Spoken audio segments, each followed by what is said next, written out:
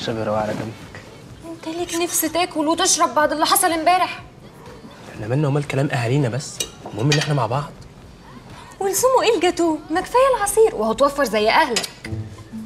طب وليه الغلط ده دلوقتي؟ أنا برضو اللي بغلط. ولا مامتك اللي فضلت تقول إن أنا مش قد المقام. يا دكتور. هي بنتي مش كانت بترد على مامتك؟ مش مامتك كانت عايزة تبوظ الجوازة على فرح؟ يعني أنت موافقها أهو. بصراحة عندها حق. كلامها فيه منطق. بقى كده أنا قلبي كان حاسس. من أول يوم دخلت بيتكم فيه كلهم حذروني بس أنا اللي غبية. وقالوا لك إيه بقى؟ إنك ابن أمك.